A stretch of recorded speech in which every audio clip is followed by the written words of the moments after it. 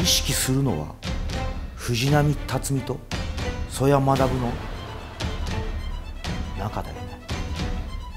まさかこのタイミングで藤波さんと組めるとは思ってなかった。KO は本当にそういう部分が長けているのであ面白い試合になるんじゃないかな。やっぱり気にはしますよ。やっぱ彼がやっぱりねこいつ二十歳のそれを僕は覚えてるからね、お願いします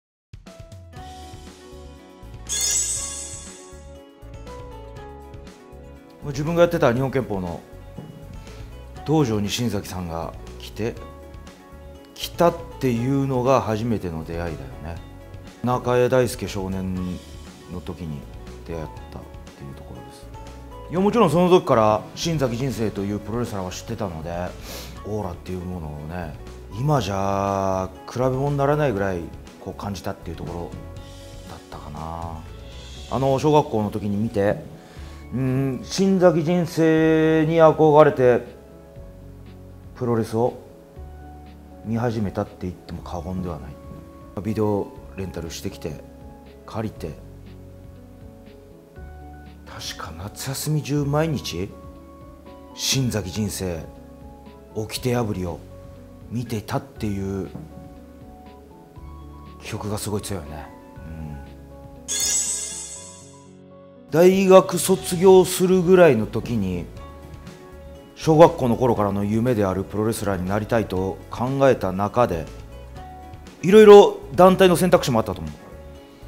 でも昔から憧れた団体に行こうと思って道のくプロレスに行ったっていうのがすごい覚えてるよね、うん、正直初めの頃新崎人生の試合がタダで見れるというその喜びが一番強かったな。入場曲独特のものがあるじゃない。それを聞くだけでやはりプロレスファン時代に戻ったっていう感覚があったよね。道プロからノアに移籍する時に人生さんと話したっていうか新崎さんがもう道のくプロレスで戦う相手がいないからお前が切磋琢磨して戦える場所ノアに行った方がいいんじゃないのかなっていう言葉を言われたのでそれはもう自分が推してる新崎さんに言われたからもちろん行きますっていうぐらいの気持ちだったよね。一番新崎さんに教わったっていうことが一つあってライバルを作れもうこの言葉が一番強いかなと思うね、うん、プロレスラーやってて誰か一人追うか追われるか切磋琢磨して戦えるライバルを作る。これが一番大切っていうことを言われて本当にその通りだなって。もうその頃はどういう意味かまだはっきりと理解はできなかったけど今思うとこの言葉本当に深いなって。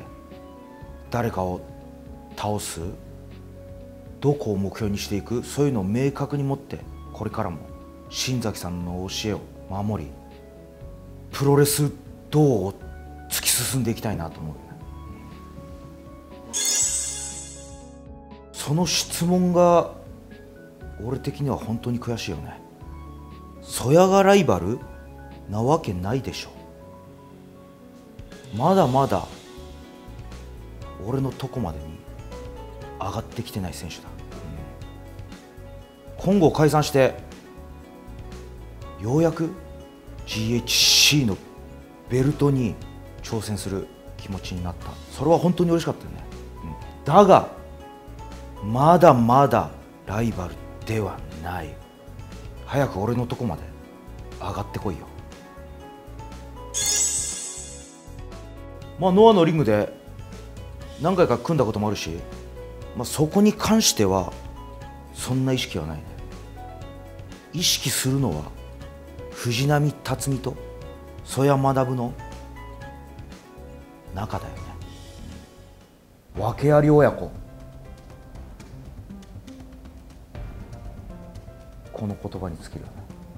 誰も曽谷と藤波辰巳が師弟だという認識がまずないわけじゃん。そうやって藤波辰巳の弟子だったのっていうところだよね。でも昔を掘り下げていけばそれは無我出身。だけどそれほど師弟関係はなさそう。何かあるんじゃないの？俺がまた掘り下げちゃっていいかな？訳あり親子チーム対親がすごい可愛がってくれてるチームだよね。どうなるのか。そういう側面から見ても楽しい戦いになるよね、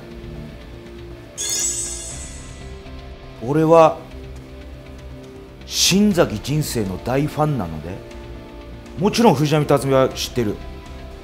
でも新崎人生のところまで俺の中では上がってきてないよね、うん、全く意識してないので楽しみかどうかもわからないかもしれないね。ただ一つ言えること俺はドラゴンスープレックス使うなって。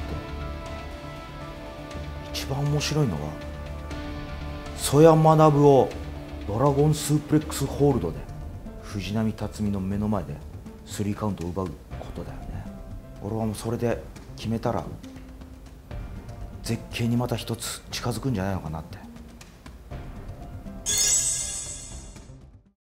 おいてめえらクセ野郎ども横浜武道館大会。今言ったよな。めちゃくちゃ仲のいい親子対訳あり親子対決。結果はもちろん仲のいい親子が勝つに決まってるだろおいてめえらクソ野郎ども俺がそやからドラゴンスープレックスホールドで倒しちゃうところを楽しみにしといてくれ。2024年1月2日プロレス始めはノア有明アリーナ。団体の頂点を決める戦い。GHC ヘビー級のベルトに挑戦させてもらう。有明アリーナでこのベルト挑戦させてやる。王者剣王に覚醒した曽谷学が挑むアベマ無料生中継も決定。チケット好評発売中。詳しくはノア公式サイトをチェック。